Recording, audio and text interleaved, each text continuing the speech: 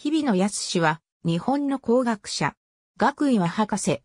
国立大学法人北陸先端科学技術大学院大学理事副学長情報科学研究科教授。日本電信電話ヒューマンインターフェース研究所主幹研究員北陸先端科学技術大学院大学附属図書館館長国立情報学研究所教授内閣官房参与などを歴任した。1970年、東京工業大学を卒業し、工学士の称号を取得した。その後、東京工業大学の大学院に進学し、1972年に工学修士の学位を取得した。なお、後に1995年になって東京工業大学より博士の学位を取得した。学位論文の題は、記号処理計算機の高速化と汎用化に関する研究。大学院修了後の1972年、日本電信電話公社に採用され、武蔵野電気通信研究所の研究員として配属された。1985年、日本電信電話公社は民営化され、日本電信電話が発足した。翌年、日本電信電話の基礎研究所にて、情報通信基礎研究部の第二研究室の室長に就任した。さらにその翌年には、日本電信電話のヒューマンインターフェース研究所にて、主幹研究員に就任した。1993年、北陸先端科学技術大学院大学に転じ、情報科学研究科の教授に就任した。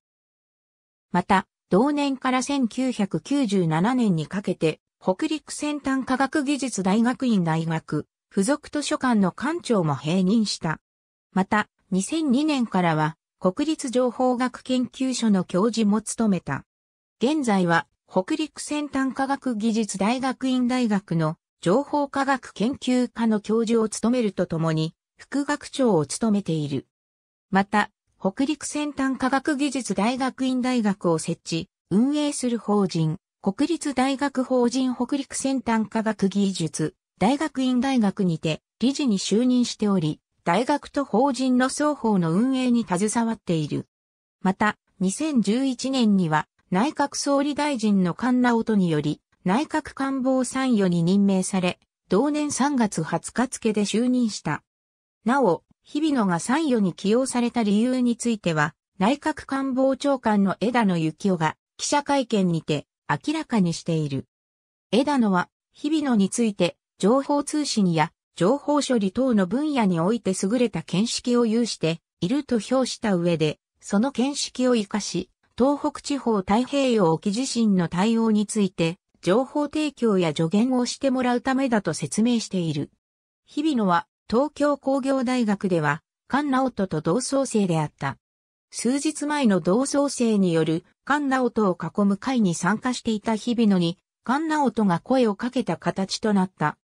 研究分野は工学であり、特に情報工学を専門とする。情報通信に関連する領域を中心に研究に取り組んでいる。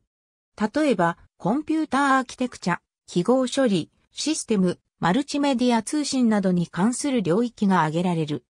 具体的には、プロセッサを集積させ、極限まで微細化が進んだ状況下において、関数型言語適用時に高い並列性を得られるアーキテクチャについて研究している。また、リスプ上での未時間問題解決における諸問題をアーキテクチャにより支援する方法を研究している。